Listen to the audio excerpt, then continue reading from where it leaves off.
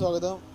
നമ്മുടെ മാറഞ്ചേരിയിലുള്ള നല്ല അടിപൊളി ഒരു ഹോട്ടലാണ് ഇന്ന് പരിചയപ്പെടുന്നത്. നല്ല തന്തൂരി റൊട്ടി അങ്ങനെയുള്ള ഗ്രിൽ ചിക്കനൊക്കെ ഉള്ള ഒരു ഹോട്ടലാണ് ഷാസ് എന്ന് പറയുന്നത്. അവിടേക്കാണ് നമ്മുടെ യാത്ര.